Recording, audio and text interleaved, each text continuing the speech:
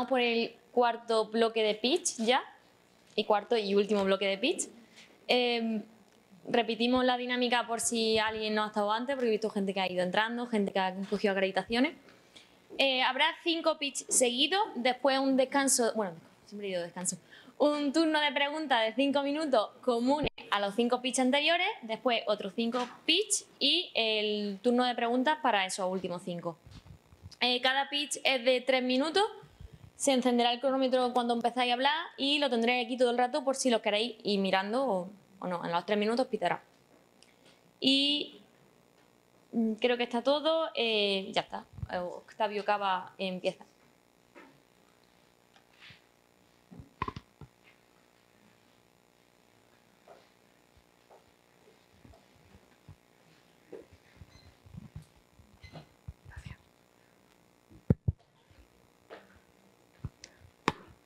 Muchas gracias. Pues buenos días. Eh, lo primero, dar las gracias a los organizadores de, este foro tan interesante pues, por su invitación y haber pensado en nosotros para, para que presentemos aquí nuestro trabajo. Eh, yo me llamo Octavio Cava, eh, soy profesor de la Universidad de, Granada y bueno, pues brevemente me presento para no pasarme de tiempo. pertenezco al grupo CTS 107 de la Junta de Andalucía. Estamos ahí en el CIBM, aquí al lado en el PTS y también pertenecemos al IBS de de Granada. Un grupo de investigación coordinado por el, por el doctor José Carlos Prado.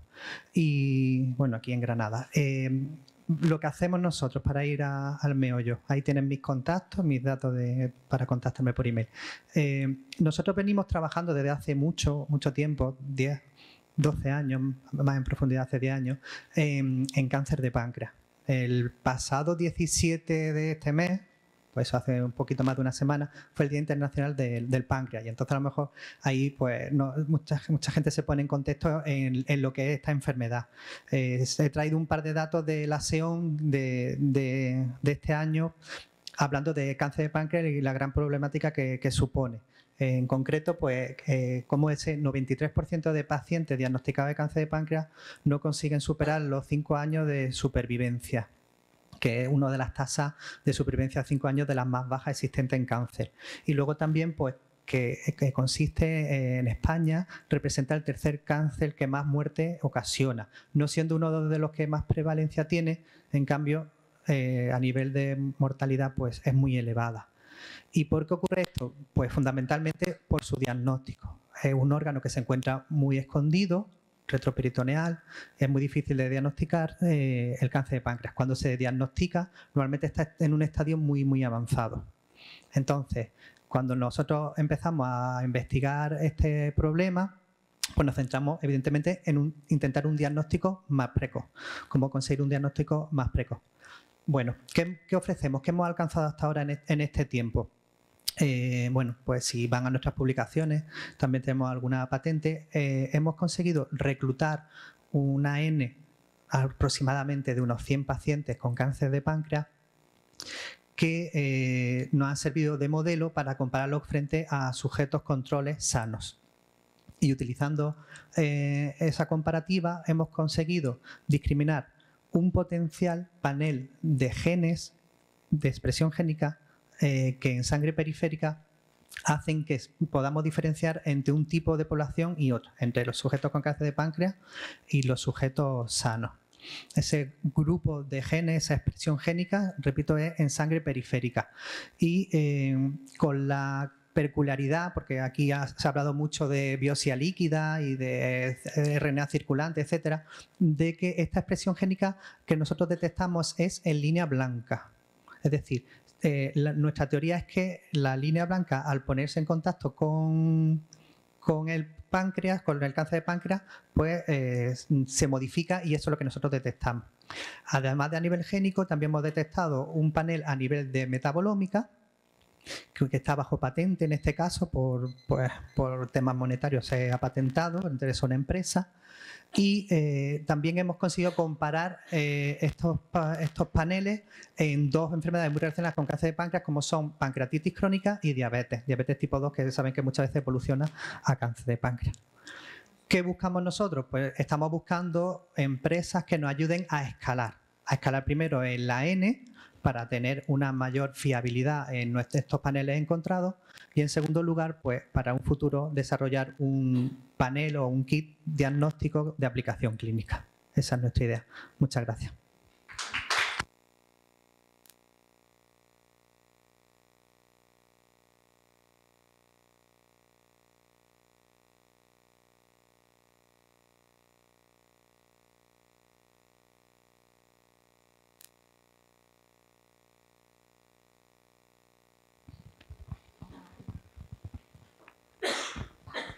Hola, buenas tardes a todos. Bueno, yo soy María Hernández Valladares, soy investigadora de la Universidad de Granada y trabajo en el Departamento de Química Física y como veis pues también tenéis mis contactos por si queréis un futuro hablar conmigo. Bueno, yo soy doctora en bioquímica y la verdad que he estado los últimos 30 años fuera de Granada, aunque sí que destaco los últimos tres centros porque he hecho siempre proteómica de espectrometría de masa. Entonces, el último ha sido la Universidad de Sydney, pero también he estado en la Universidad de Bergen, en Noruega, y también en Liverpool, en el Reino Unido. Entonces, eh, lo que voy así a presentaros no es una cosa nueva, aunque sí es muy nueva en Granada, porque realmente nadie lo hace. Es una de las grandes ómicas y no es genómica, es la proteómica. ¿vale? La proteómica de, eh, con espectrometría de masa y con equipamiento de alta resolución. Entonces, ¿qué ofrecemos? Bueno, pues a día de hoy no contamos con una plataforma de proteómica y con el equipamiento de última generación, pero sí que estamos realmente trabajando muy duro para conseguir financiación, tanto pública como privada, para conseguir este tipo de instrumentación. A lo mejor en un año, año y medio, pues contamos con ello. Pero sí que podemos eh, ofrecer a día de hoy pues, un conocimiento ya de muchos años, una experiencia bastante amplia en lo que la proteómica, lo que son todas sus variantes, también podemos ofrecer asesoramiento y diseño experimental y también estamos ya empezando a hacer pequeños experimentos, ¿vale? Lo mandamos a las plataformas que nacionales en, en Barcelona, Córdoba o Madrid, analizamos los datos y empezamos un poco a partir la proteómica aquí en Granada. Cuando tengamos instrumentos, espero que hagamos cosas maravillosas, por ejemplo, como conseguir perfiles proteómicos humanos, de identificar y cuantificar hasta 12.000 proteínas, ¿vale? También podemos estudiar modificaciones que sufren las proteínas y que de ello dependen sus, funciones, como son la fosforilación o la, la, glicosilación. También haremos una cuantificación relativa o absoluta. Y también hacemos el estudio que siempre nos gusta a todos, que es el Protein Networks, y también los eh, datos estructurales que nos definen ese tipo de eh, networking.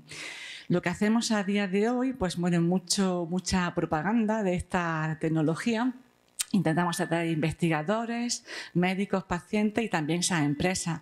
Y esperamos también que en un futuro pues, eh, podamos también, aparte de colaboraciones científicas para hacer proyectos, contar también con las empresas para desarrollar estas, eh, esta proteómica.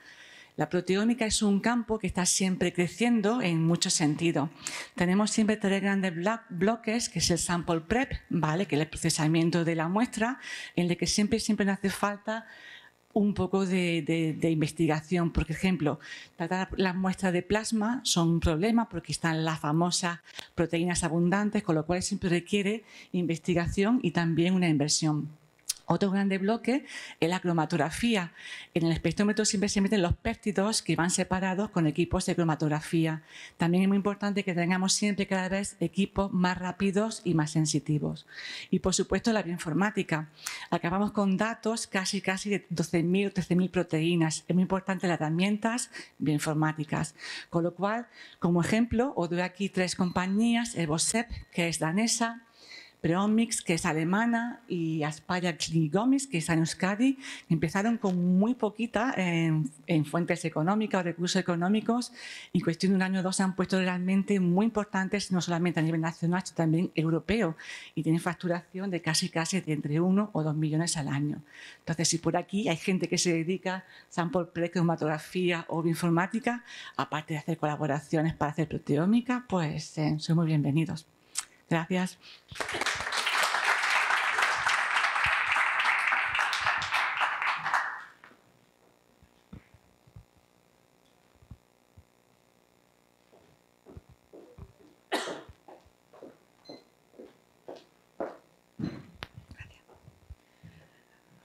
Hola, buenos días a todos. Mi nombre es Teresa del Castillo, soy profesora del Departamento de Físico-Química de la Facultad de Farmacia, pero llevo trabajando 10 años en el grupo de Física de Fluidos y Biocoloides de la Facultad de, de Ciencias. Mi grupo de investigación está compuesto por físicos teóricos y también experimentales y trabajamos fundamentalmente en el transporte de, de nanofármacos o sea, en, vehiculizar esos fármacos de diferentes maneras. Eh, utilizamos eh, desde polímeros, nanoemulsiones y el último proyecto en el que nos hemos embarcado ha sido en utilizar eh, microgeles o nanogeles.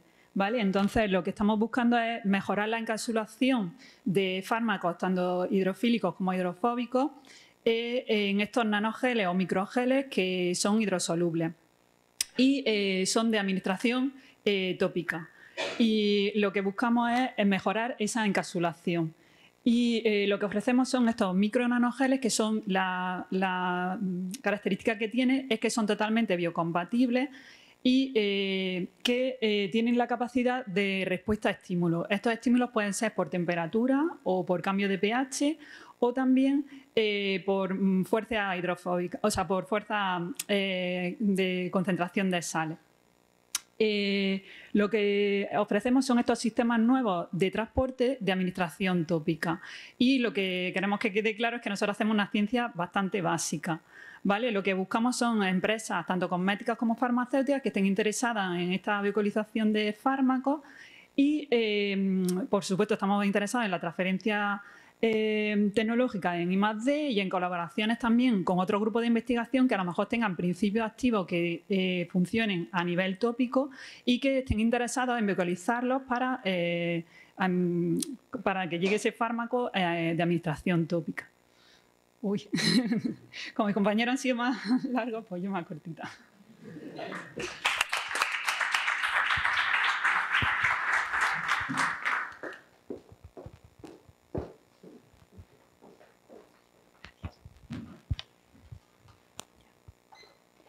Eh, hola, buenas tardes a todos. Mi nombre es Alba Camacho, yo vengo en representación del grupo Profit. Eh, bueno, es un grupo que se, de la Universidad de Granada. Nos encontramos aquí en el PTS, en el IMUD, en el Instituto Mixto Universitario en Deporte y Salud. Y bueno, el grupo está formado por más de 50 investigadores. La verdad es que es un grupo bastante amplio entre eh, investigadores senior, postdoctorales y predoctorales y también en formación. Y bueno, el objetivo fundamental del grupo, como podéis ver ahí, pues es intentar hacer una sociedad más saludable a través de, principalmente, pues promover buenos hábitos de vida, como por ejemplo a través de la actividad física. El grupo está dividido en diferentes nodos y eh, tiene amplia experiencia en lo que son estudios clínicos en humanos. Eh, cada uno de los nodos pues, se especializa en pacientes con diferentes patologías. Por ejemplo, uno de los nodos se relaciona sobre todo con pacientes oncológicos. Tenemos iniciado hace poquito un proyecto con pacientes de cáncer de colon, por ejemplo, eh, también con oncología infantil, con niños que han sufrido eh, cáncer infantil. Otro de los nodos se relaciona más con pacientes con eh, procesos o enfermedades cognitivas y otro de ellos, que precisamente en el que me encuentro más relacionada, es en relación a enfermedades cardiovasculares. Sobre todo ahora estamos analizando pues, diferentes hábitos de vida cómo pueden influir en lo que es la grasa ectópica o grasa más visceral. Eh, además, también otro nodo en concreto se encarga de, analizar más lo que son los hábitos de vida de, la población en cuanto al control y cómo puede fomentar estrategias para mejorar esos hábitos. Eh, lo que ofrecemos pues, es la amplia experiencia que tenemos en intervenciones clínicas, sobre todo en humanos, por medio de la monitorización de hábitos de vida saludable, actividad física, alimentación, eh, intervenciones propias hechas en nutrición y ejercicio y además, bueno, también llevamos a cabo algunos estudios validando diferentes dispositivos, aplicaciones, herramientas que al final nos permiten controlar esos hábitos de vida de una forma mucho más sistemática y, rápida. ¿Qué buscamos? Bueno, pues nos pareció buena idea estar presentes aquí, sobre todo para intentar establecer colaboraciones o vínculos eh, para un apoyo tecnológico y biomédico en el proceso de evaluación y control. Eh, a veces controlamos muchas variables que son inherentes al, al ser humano y tenemos muchas herramientas diferentes para evaluar cosas por separado. Pensamos que sería interesante tener herramientas que nos permitan controlar esos hábitos de una forma mucho más, más rápida. Al igual que también, bueno, pues diferentes pruebas biomédicas, pues radiografías, resonancias, ese apoyo más biomédico para poder llevar a cabo esa evaluación de tantas variables en, en poco tiempo. Eh, bueno, muchas gracias por, por la atención.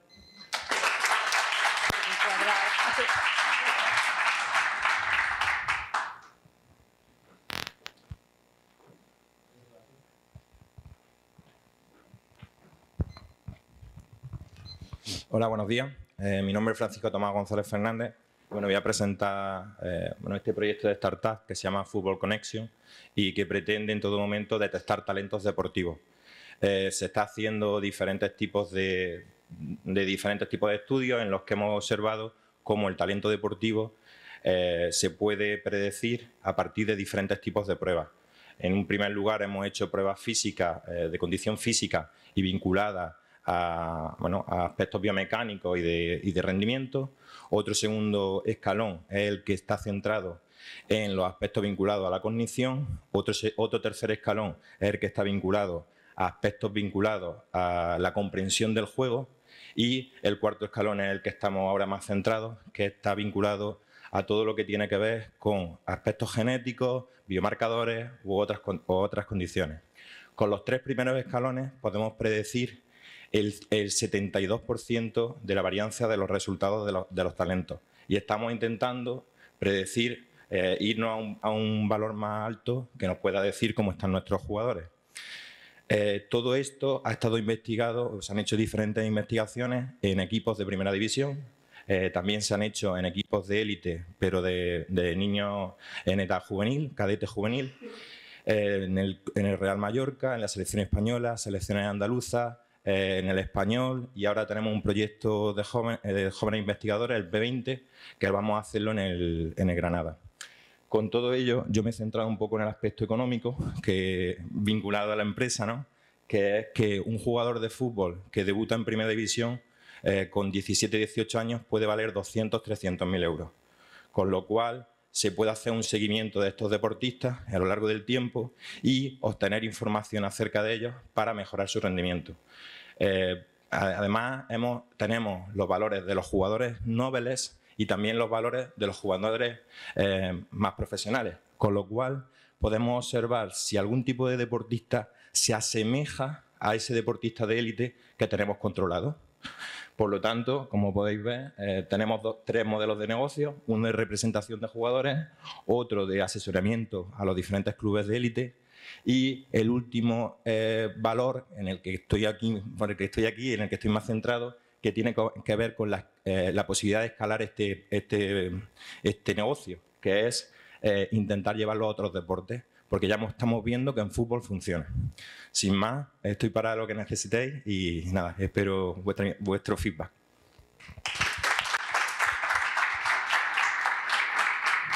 Sí, podéis venir aquí los cinco.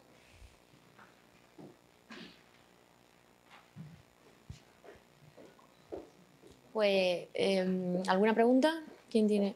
Vale, por ahí.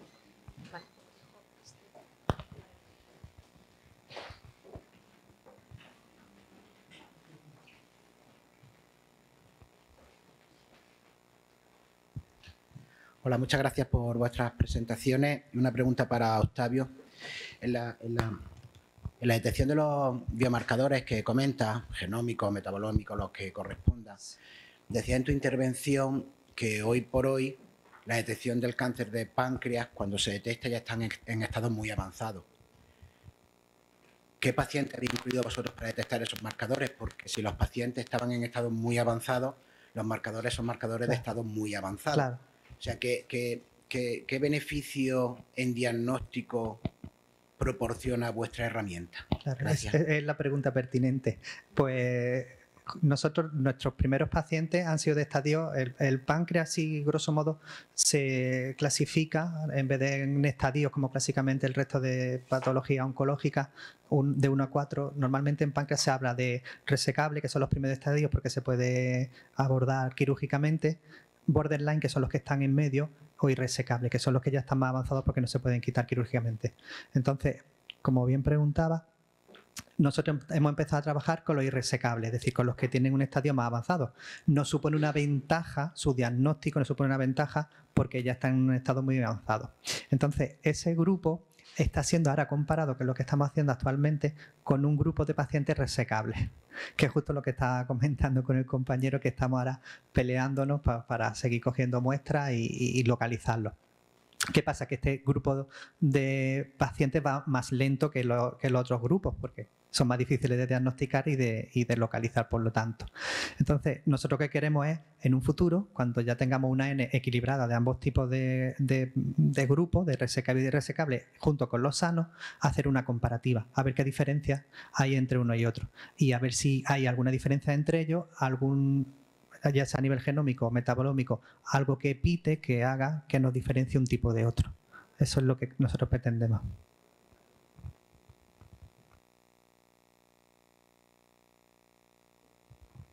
Vale, uh, ya ha contestado a mi, mi primera uh, pregunta y um, ¿está pensando ahora en hacer un diagnóstico multiómico o está moviendo en una dirección el, o el otro? Nosotros apuntamos a todos lados, intentamos disparar al máximo, lo máximo posible. Queremos efectivamente hacer un estudio multiómico. Estamos empezando, eh, también lo comentaba, estamos en pañales de hacer un, un estudio con gente de la Universidad de Stanford que están interesados en hacer un estudio multiómico integrar nuestros resultados, que son públicos, de genómica y de metabolómica, integrarlos también eh, a nivel de transcriptómica en general y hacer una integración de todo. Por eso mm, ahí nosotros estamos un poco más perdidos, no dominamos esa integración de diferentes ómicas y era lo que nosotros solicitábamos o, buscábamos. enhorabuena por, la, por las intervenciones. Yo tengo preguntas para varios. La primera por intervención, Octavio. Eh, nosotros mm, trabajamos con cáncer de páncreas desde el punto de vista de la imagen. Ahora tenemos, nos han concedido un proyecto para hacer imagen mm, en 3D virtual de fusión de tal y resonancia para diferenciar los resecables y los irresecables y algunos de ellos, pues incluso si está por aquí Javier, pues, haremos cosas de impresión 3D y con Silvia pues ya hablaré con ella para hacerlas de realidad virtual, ¿no? Es decir, que para intentar coger lo máximo posible. Entonces, bueno, queda ahí abierto por si estáis interesados en, en algún aspecto de trabajar y como voy a hacer uno Mm, multiómico, pues nosotros podemos aportar desde el punto de vista de la radiómica, las imágenes de la difusión, del valor ADC que te dice la celularidad o la citoarquitectura que tienen esas, que tienen esos tumores. Sería una, una ómica más para, para pues tenerla en Muy interesante, muchas gracias. Ahora lo comentamos, ahora lo hablamos. Para tenerla en cuenta. Y la otra, pues a Francisco ya se lo he comentado antes, que está que él está interesado. Vamos nosotros tenemos, como he dicho, también un proyecto ahí que vamos con un poco con, futbolistas también y con voluntarios que, serán residentes, médicos residentes por edad, parecía a, los futbolistas, para intentar establecer biomarcadores en músculo y en, discos intervertebrales y en tendones, también para predecir lesiones, lesiones, lesiones eh, deportivas, ¿no? que bueno, también podría interesar a los a los de IMU en este caso. No sé si Alba podría estar interesado.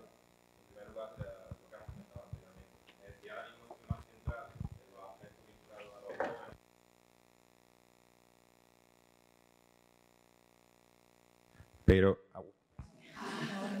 eh, en los jóvenes, pero es cierto que, que estamos haciendo cosas con deportistas de élite.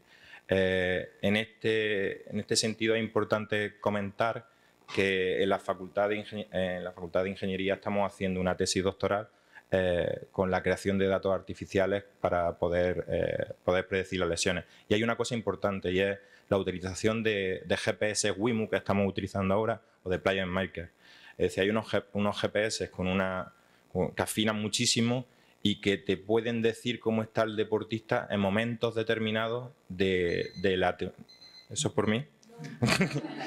en aspectos determinados de, de, la temporada. Es decir, puedes observar la fatiga que te va teniendo el deportista de forma aguda o incluso de forma crónica y podés crear vínculos, relaciones directas eh, para, para, optimizar el, rendimiento. Entonces, eh, se puede observar lo que, lo que, está, lo que, está, lo que tiene entre manos porque me parece muy interesante.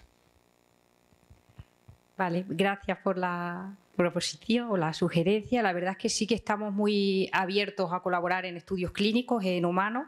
Pienso que además es un punto fuerte porque no es relativamente sencillo acceder a, población no solo deportistas, sino también población sana o con patología. Y creo que el tema de lesiones musculoesqueléticas eh, necesita como un empujoncito y salir también un poco de, del ámbito a lo mejor del rendimiento y también enfocarlo más a, a, la salud general de la población que hace actividad física y, deporte. Pues sí. Vamos a hacer ahora uno para cuantificar la calidad del cartílago eh, con unas imágenes de resonancia multiparamétrica. Sí, eh, Jonathan es el director de esta de este nódulo de cardiovascular. Por ejemplo, estamos haciendo un estudio con grasa ectópica y también hacemos ecografías y sí, las ecografías en el hospital y luego la resonancia que lo hacemos en el centro de diagnóstico por ahora. Entonces, bueno, sí que hay algunas colaboraciones y, por supuesto, abiertos a futuras eh, posibilidades. Eh, buenos días, enhorabuena a todos y a todas por las exposiciones. Y mi pregunta y mi reflexión iría más por, el tema aportado por Francisco. Eh, soy componente de uno de los comités de ética de la universidad, en concreto el de agentes biológicos y los modificados genéticamente. Y mm, quizá eh, en los estudios que van eh, proyectados hacia la intervención o identificación de aquellos genes por ejemplo, que pudieran ser o estar asociados a personas con eh, un poder eh, mayor que otras para hacer algo, eh, lleva el beneficio directo de poder potenciar a esas personas para que lleguen a su sitio, pero lleva el inconveniente directo de impedir que otras personas no lo hagan. Eso lleva una componente ética importante ¿eh? desde el punto de vista de las investigaciones. Entonces, esa es la reflexión, o sea, la potenciación de seres humanos con virtudes a través de su genómica, ¿eh? que a su vez lo que hace es impedir que otras personas que no lo pudieran tener no lleguen a su objetivo. La pregunta, por tanto, en este sentido sería si este proyecto llevaría esa componente y si, obviamente, tenéis eh, previsto que esto debe de pasar por un comité de ética e investigación humana. Gracias. Eh, muchas gracias y de hecho eh, la conversación iría por ahí. Es decir, ahora mismo lo que hemos hecho eh, ha sido evaluar a todos los deportistas. Es decir, independientemente si tienes talento o no lo tienes. teniendo en cuenta eso, hemos visto cuáles son los, es decir, los cuestionarios, por ejemplo, los cuestionarios de talento validado, hemos observado qué es lo que se destaca de, la varianza ¿no? de, respecto de los otros, pero en todo momento lo que hacemos es cómo tienen que entrenar todos para mejorar de forma conjunta. No hemos hecho todavía nada en talento, es decir, identificamos cuál es el talento, cuáles son los, predictores principales, pero todavía no hemos hecho nada en talento. De hecho, el proyecto que ahora mismo hemos pedido, si nos lo otorgan ahora, eh, tendríamos que reunirnos para ver cómo podríamos hacerlo. Es cierto que si trabajamos con el Granada, si trabajamos con equipos de élite, que ahí es donde está el talento, es decir, la selección se hace sola. Eh, tendremos que observar eh, cuál sería nuestro mejor camino para llegar a, ese, a esos aspectos. Pero la, realidad es la que, la que te he comentado, es que eh, se busca optimizar el rendimiento del deportista de élite. No sé, bueno, podemos tener una conversación y aconsejarme, evidentemente. Bueno, pues muchísimas gracias. Sé que hay alguna pregunta más, pero necesitamos eh, ya seguir con lo siguiente porque se nos está haciendo tarde. Eh, y ya está, muchísimas gracias.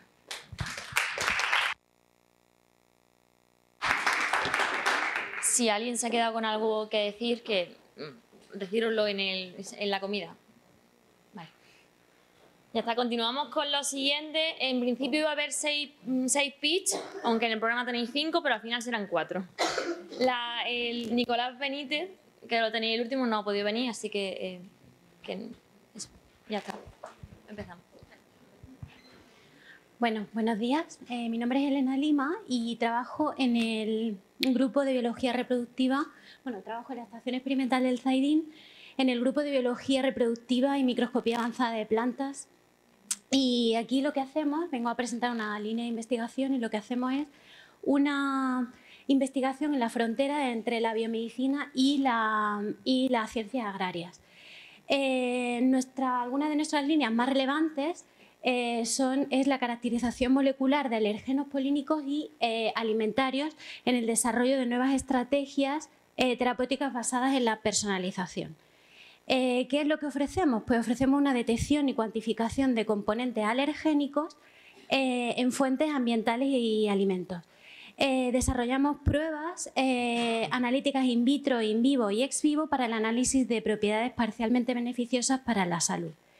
Y eh, sobre todo la línea más importante que tenemos es el diseño de procedimientos eh, de procesado alternativo, sobre todo en el uso del procesado alternativo de la aceituna eh, con el procesamiento del aceite para optimizar y valorizar estos productos en base a nuevos productos agroalimentarios.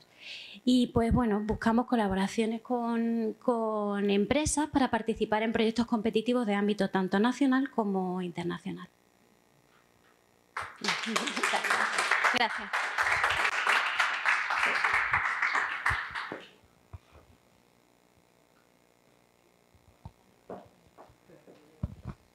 Claro, ahora soy yo, ¿no? Sí, soy yo. Digo, es que no sé. Toma, si quieres, si quieres la foto, sí.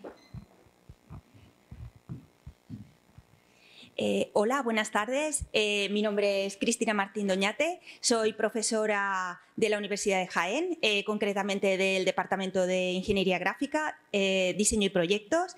Y bueno, pues aparte soy investigadora responsable del grupo de investigación en Ingeniería Gráfica y Diseño Industrial. Eh, bueno, pues, eh, ¿qué hacemos en, nuestro grupo de investigación? Eh, bueno, pues como lo dice el nombre, tenemos más de 20 años de experiencia en el ámbito del diseño industrial.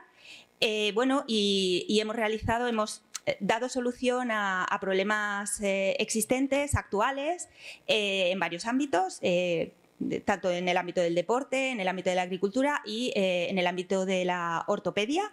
Eh, y actualmente pues disponemos de 15 eh, patentes. Eh, luego, en fin, eh, como digo, pues tenemos bastante experiencia eh, en este ámbito. No solamente nos dedicamos al diseño avanzado, sino que también, eh, bueno, pues somos especialistas en temas de fabricación avanzada, concretamente en plástico. bueno, dentro de este ámbito del plástico hay dos procesos de fabricación fundamentales. Uno es la fabricación aditiva o impresión 3D y el otro es el proceso de moldeo por inyección. Estos procesos de fabricación no, no, se parecen en nada. Uno es completamente anisótropo, que sería la impresión 3D y el proceso de moldeo pues da eh, piezas eh, que son eh, isótropas.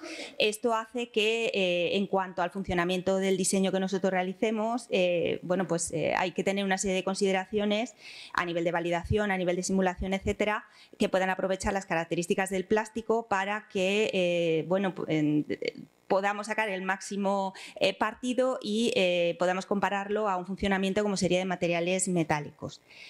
Eh, bueno, básicamente, eh, ¿qué ofrecemos? Eh, bueno, pues como hemos dicho, somos especialistas en temas de, de diseño industrial sobre todo, pues bueno, se podría aplicar a, múltiples campos. Eh, nosotros eh, básicamente nos hemos centrado en el ámbito de la, de la ortopedia, eh, pero bueno, como hemos dicho, tenemos patentes en temas de aplicaciones para deporte, etcétera.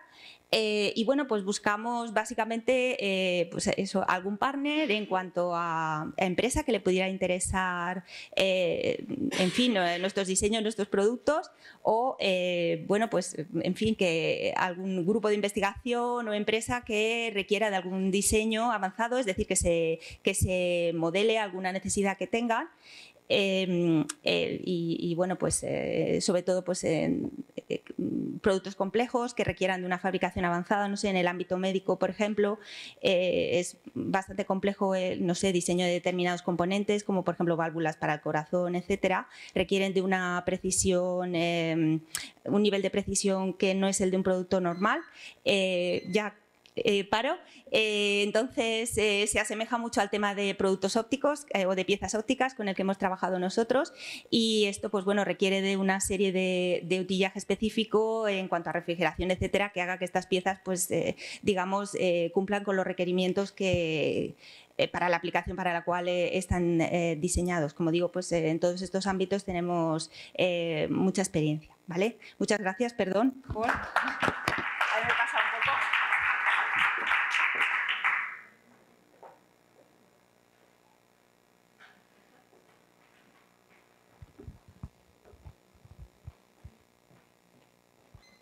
Gracias. Hola, buenas tardes. Eh, soy Mari Carmen Pérez, gerente de Finanzas y Maíz. Somos una consultora económico-financiera especializada en organismos y empresas que lleven a cabo desarrollo de innovación. Estamos ubicados aquí en el Parque Tecnológico de la Salud.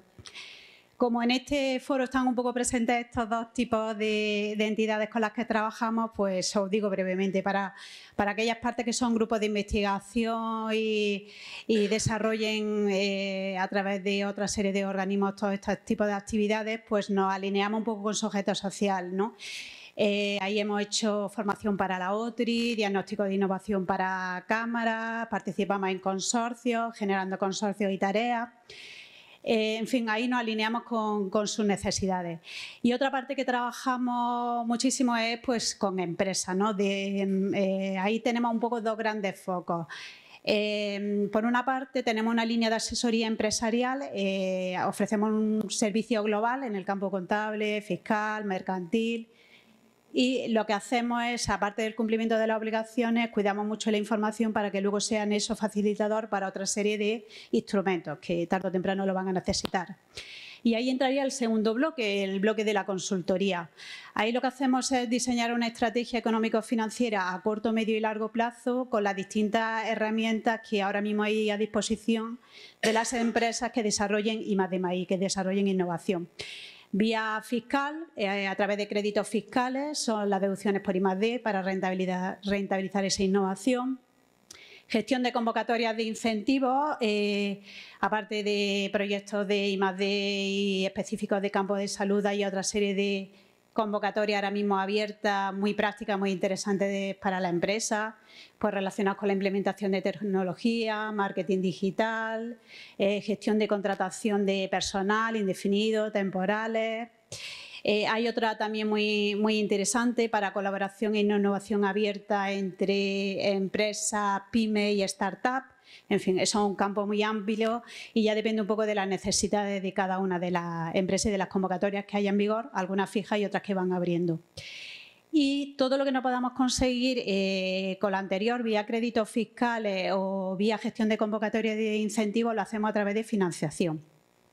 Ahí trabajamos con entidades financieras, eh, plataformas alternativas, fondos de inversión nacionales e internacionales. Nuestro ámbito de actuación es nacional e incluso internacional e intentamos complementar pues, todo aquello que se necesite tanto para la empresa como para, los proyectos. Y lo que buscamos es justamente, pues bueno, pues tanto entidades, organismos como empresas que estén desarrollando innovación y nos alineamos con, ellas pues para eh, ofrecerles un valor añadido y voy a cortar esto, ya se me ha agotado el tiempo, que me avisen. Eh, como decía, y lo que buscamos son este tipo de entidades que desarrollen innovación pues para alinearnos con sus necesidades, poder eh, ofrecer un valor añadido y rentabilizar los desarrollos de innovación. Eh, pues muchas gracias por vuestra atención y ahí os dejo el código QR con nuestro contacto. Gracias.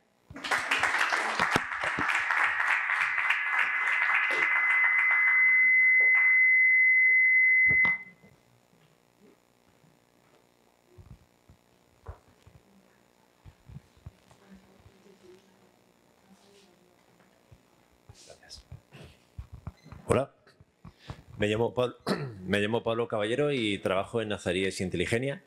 Somos la cuarta tecnológica, la cuarta consultora tecnológica de la provincia con más de 130 personas. Tenemos personal en, en América, en Europa, varias oficinas y tenemos capacidades de desarrollo de software. De, tenemos una plataforma de Internet de las Cosas bastante potentes y una línea de Customer Success para gestión de, activos y atención al cliente en temas de desarrollo de software. Pero no estoy aquí por eso. Estoy aquí para presentar primero las capacidades que tenemos de desarrollo tecnológico y postularnos como, como partners en proyectos de I+.D., tanto a nivel europeo como nacional. Cualquier desarrollo software, plataforma o incluso hardware, que también tenemos un equipo de desarrollo de hardware para temas puntuales, para hacer prototipado, pues podemos dar una solución bastante completa. Pero lo más importante, y es por lo que, eh, lo que me trae aquí, es que estamos buscando socios para una plataforma de salud digital que vamos a lanzar con un 50% de costes sanitarios que provienen de enfermedades que son evitables ligadas al hábito de vida y una inversión en promoción de la salud y en prevención menor del 2%, hay un gap de un 48% que estamos hablando de decenas de miles de millones de euros solo en España cada año.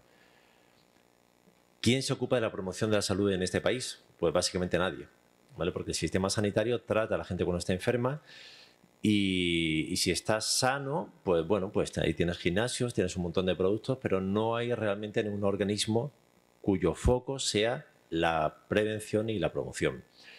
Estamos lanzando una, plataforma que está orientada a entidades territoriales, municipios, diputaciones, comunidades y a grandes empresas, donde lo que hacemos es eh, una traducción directa de papers de lo que son estudios científicos a productos digitales que ayudan a la gente mediante sistemas expertos a mejorar su salud. Primero, conociendo cuáles son tus riesgos de salud, porcentaje de desarrollar cáncer de mama, diabetes, cáncer de pulmón, eh, cardiovasculares, etc. Y una vez que tienes un mapa de tu futuro, si no haces nada por cambiarlo, ofrecemos recomendaciones personalizadas en temas de nutrición, de ejercicio físico y de hábito de vida. Y ahora queremos itirar el, producto y aplicar eh, introducir la parte de gestión de las emociones, sería ansiedad, estrés, depresión, gestión eh, de la salud eh, femenina, como se suele decir, eh, gestión del sueño,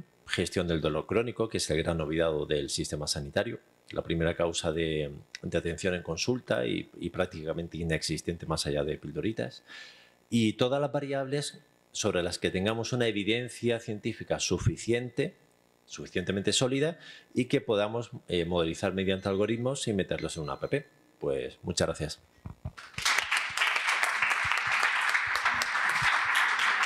No te vayas, Pablo, porque el turno de preguntas. Uy. Me ha asustado. Sí, sí. Sí. Eh, Podéis subir los cuatro. Ahí.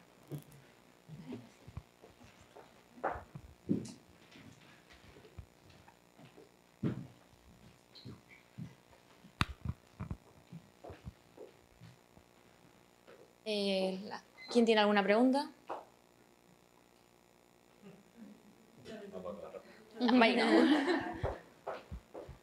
Bueno, es hacer más bien un comentario hacia Pablo. Me parece una idea muy, muy interesante. Creo que es verdad que la, quizás la promoción de salud no, no llega, quizás, ¿no? No sé si hay quizás estrategias, pero es verdad que no llega a la población en general. Y bueno, pienso que es muy relevante. La pregunta es si pensáis contar con expertos o profesionales en diferentes ámbitos.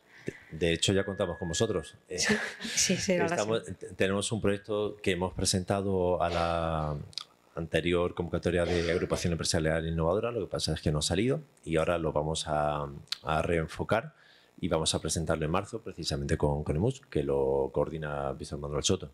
De hecho, sí. Y es lo que estamos buscando cuando te he oído hacer, digo, parece que estás haciendo como un resumen de todos los hábitos o, variables que controlamos en el grupo a través de los distintos nodos. De hecho, coordináis vosotros toda la parte de UGR. Mm, bueno, pues felicidades porque pienso que es una, una, bueno, una estrategia que puede ser muy, muy relevante. Muchas gracias.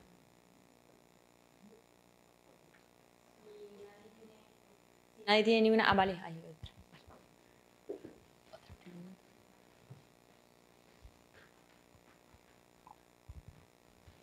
Ah, Pablo, em, una pregunta simple.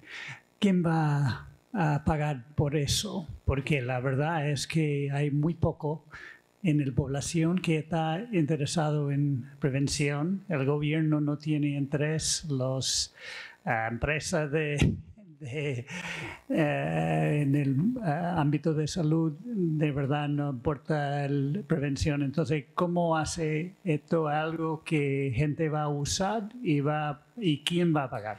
Es un modelo de negocio doble. Ahora cuando termine de contarte lo tendré que matarte, pero bueno, no pasa nada.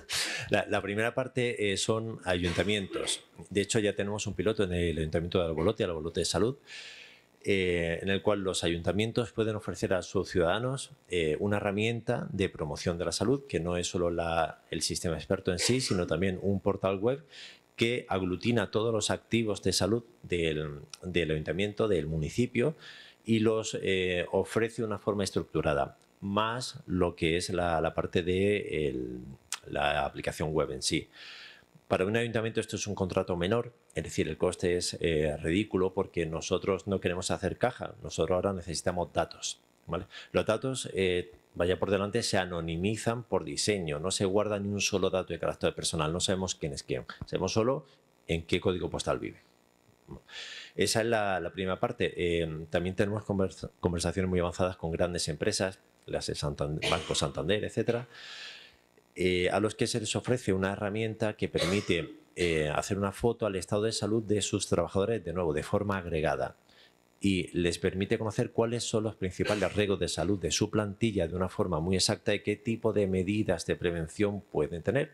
Porque para una gran empresa esto es dinero. Sobre todo, eh, cuanto más subes eh, a nivel directivo, más riesgos de salud suelen ir asociados y poder prevenirlos ahorra muchísimo dinero.